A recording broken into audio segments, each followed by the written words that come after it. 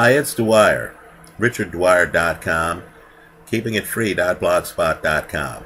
I'm a civil lawyer in Northern California, and I've been following the Bill Cosby situation. Let's just say I'm really surprised because I used to admire Bill Cosby. Used to. Past tense. When I was a kid growing up in the 70s and 80s. Lord knows I was looking for African American mentors, uh, people who were successful, people who were, you know, promoting uh, positive imagery for African Americans. And Bill Cosby really was a prominent individual back then. He took roles that you could actually feel proud of. You know, The Cosby Show was really a watershed event. Hard to believe now, but back then you really didn't have a lot of black males uh, on television who were in roles where they were, you know, not the janitor or the, um, you know, police officer or the hoodlum, but they were just everyday dads trying to offer good parenting and good advice to their kids and trying to be good husbands. So I appreciated Bill Cosby back then. But now I'm coming to find out that I didn't know Bill Cosby right? I just knew a public image. I'm deeply troubled, deeply disturbed. Not just by the fact that more than a dozen women have come forward with very similar stories of having received drugs from Bill Cosby, voluntarily in many cases, and then coming to after sexual encounters to which they contend they did not consent. And yes, I am picking my words carefully because Cosby has lawyered up and I don't want to get sued. Right? But I'm also disturbed by the actions of Cosby's camp. Right? In hiring Marty Singer, a very aggressive lawyer. Right? And in making statements that they hope the black community comes to their defense. You've got to be kidding me. Why would I support anyone against whom this many people have made these kind of allegations? Right? Understand. Perhaps I've missed it, but Cosby has not categorically said that all of the accusations made against him are false. In fact, Cosby was sued for sexual assault. And Cosby settled that lawsuit. There's even a moment here during the last few weeks where Cosby's team, you know, after Cosby said, you have to vet the accusers, right? In which Cosby's team actually acknowledged that they weren't implying that the accusations that were made by the woman with whom Cosby settled were false.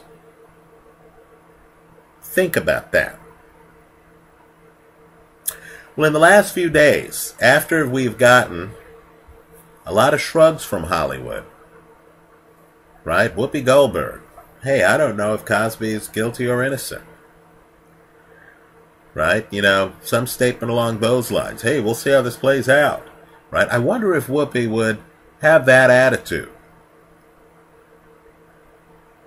If more than a dozen members of her family came forward with these exact accusations against a third party. Right? Then you have Jill Scott, right, coming forward, you know, saying, hey, you know, I still believe in Bill Cosby. Really? Right? You know, well, now you have a very prominent, very successful Hollywood director Judd Apatow coming forward on Twitter and making the statement after prior tweets in which he specifically refers to Cosby. He makes a statement I am pretty sure I have had sex with less people than he raped. Now understand the word people is plural. I believe that statement implicitly states that Apatow believes that Cosby raped more than one person. Right? It's a watershed moment because we're going to find out whether Cosby is going to sue Apatow for defamation, right? Because if the statement is false, then Cosby would have a cause of action for defamation, right? This is a published statement, published online, that has been widely disseminated, right? It's being reported right now on Decider.com.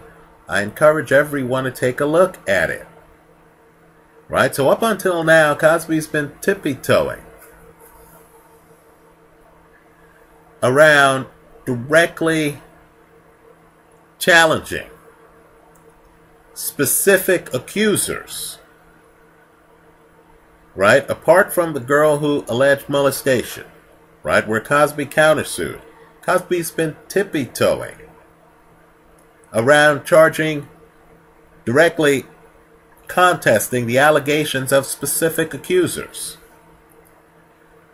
Right? Cosby's lawyer has been tippy toeing around the idea that Cosby may have sexually assaulted more people than the one woman he settled with. Right? And of course, he won't confirm or deny that assault. He simply says, I didn't mean to imply that this person was lying. Well, now you have a well financed, high profile person openly saying, right, that there are people that Cosby has raped, if you paraphrase the statement, right? Apatow wrote, According to reports on Decider.com, I am pretty sure I have had sex with less people than he raped. Let's see what happens. Let's see if Cosby sues Apatow for defamation, and then we get a public airing of the accusations in a court of law. Think about it. I don't think Bill Cosby wants that. I don't think Bill Cosby's going to sue Apatow. I don't expect Apatow to back away from his statements. Because I do believe there are many people out there who are outraged by the fact that society's response to such serious allegations by this many alleged victims, more than a dozen women, has received this kind of muted response. In fact, Bill Cosby is still touring. He's still booking venues. According to reports, in one venue, he got a standing ovation. So understand the level of outrage is such at this point that there are many people who are going to support well financed individuals bold enough to step forward and to make the statement I am pretty sure I have had sex with less people than he raped. Right? So, let's see what happens. You have a high profile person now accusing Bill Cosby of having raped people. Right? Cosby has lawyered up are his lawyers going to go after Judd Apatow? Does Bill Cosby want to risk having a trial where accusers actually show up in court and testify against him? Keep in mind, he already knows that several women were prepared to testify against him because they stepped forward during the prior lawsuit. which Cosby settled. Right? What's gonna happen next? Keep an eye on this story. Keep an eye on whether Judd Apatow retracts his statement, whether the Cosby team demands a retraction, whether Apatow doubles down and says, yeah, that's right. I made those statements on Twitter, or whether we hear, as we've heard in other cases, that Apatow's Twitter account was hacked and that somebody else made the statements attributed to him. Also, keep an eye on the Hollywood community. Right? People don't want to break ranks down there. Up until now, the response has been muted, right? The producers of The Cosby Show came forward and just said simply, We're surprised by these allegations. Words to that effect, right? We don't know what to say, right? Whoopi Goldberg comes forward and says, Hey, I don't know what's going on here. Right? Let's see if a group emerges that openly says, I will never work with Bill Cosby again.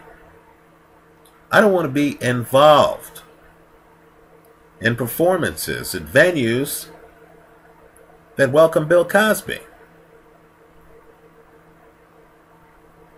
Keep an eye on the story. Let me hear from you your thoughts. I hope you leave them here in the comment section for all of us to this video. Thanks for stopping by.